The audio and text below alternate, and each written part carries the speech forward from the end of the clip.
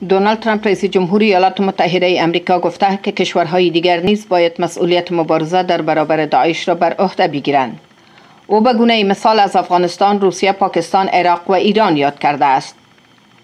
ارچند در اوایل سال روان میلادی نیروهای تحت حمایت ایالات متحده ای امریکا اعلام کردند که آخرین مناطق را که در اداره داعش در سوریه بود تصرف کردند اما حالا نگرانی های به وجود آمده که این گروه شبه نظامی در عراق و سوریه قدرت جدید به دست آورده است دونالد ترامپ رئیس جمهور ایالات متحده ای امریکا روز چهارشنبه در کاخ سفید به خبرنگاران گفت که کشورهای دیگر نیز باید مسئولیت جنگ در برابر داعش را بر عهده بگیرند او گفته که مشخصا روسیه، افغانستان، ایران، عراق و ترکیه باید به جنگ های خود بپردازند.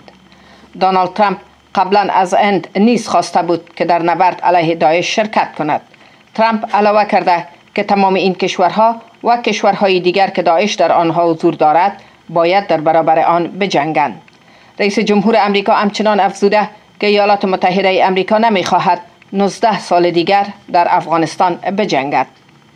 مایک پمپی وزیر امور خارجه امریکا روز سهشنبه اعلام کرد که جنگجویان دولت اسلامی در برخی مناطق قدرت گرفتند اما گفت که ظرفیت این گروه برای انجام حملات خیلی کاهش یافته است وزارت امور خارجه ایالات متحده ای امریکا روز سهشنبه یک بار دیگر اعلام کرد که برای اطلاعات در مورد محل زندگی فرماندهان داعش بیش از 5 میلیون دلار پاداش می پردازد.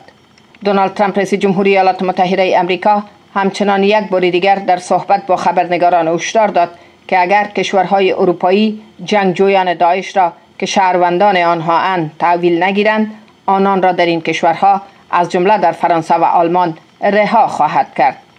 ما در حال حاضر از هزاران جنگجوی دولت اسلامی نگهداری می‌کنیم و اروپا باید آنان را تحویل بگیرند.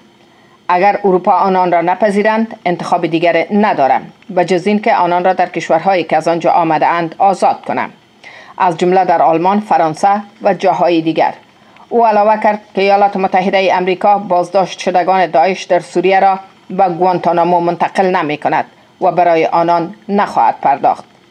هزاران نفر به شمول مردان زنان و کودکان از بیش از 50 کشور در شمال شرق سوریه در بازداشت نیروهای دموکراتیک سوریه که تحت حمایت امریکا اند به سر می‌برند. در میان آنان دو هزار جنگجوی خارجی شاملند که بسیاریشان شهروندان کشورهای اروپایی اند. نظیر عظیم کریمی خبرنگار آزاد واشنگتن دی سی.